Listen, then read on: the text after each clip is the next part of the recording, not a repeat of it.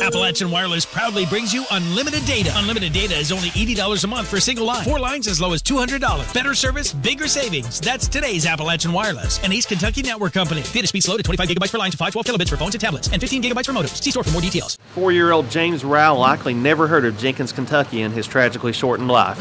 But the fire department here in Jenkins helped to make the young man's dream come true just days after his death.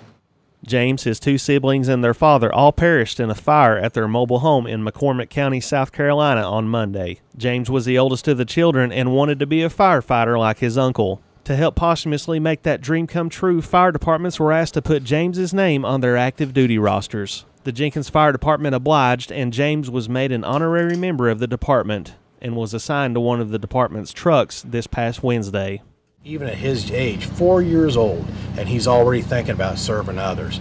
So that makes me feel honored to, to be a fireman and to count him among our, our, brothers and sister firemen. He, at four years old, he already had that, that wherewithal to, to serve his, his fellow uh, members of his community, and for that we're very proud. We've lost, a, a no doubt, a good career from a, a fine young man.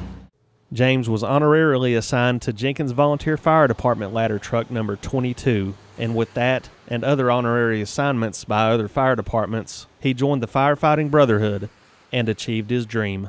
Firefighting, especially volunteer, is a family oriented thing. Traditionally, we have families. That's evident here at Jenkins Fire Department. Our fire chief, Rick Corbett, and his son, Matthew. We also have firefighter Ed Laufrey and his two sons, uh, Dustin and Tyler, who are also firefighters here.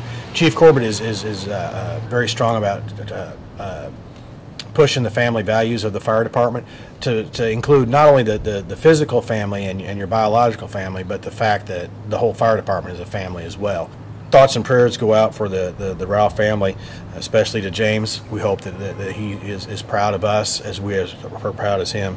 Uh, and the thoughts go out from our family here at Jenkins Fire Department to his family as well. Honorary firefighter James Rowell and his siblings and their dad were laid to rest Friday in South Carolina. In Jenkins, Chris Anderson, EKB News.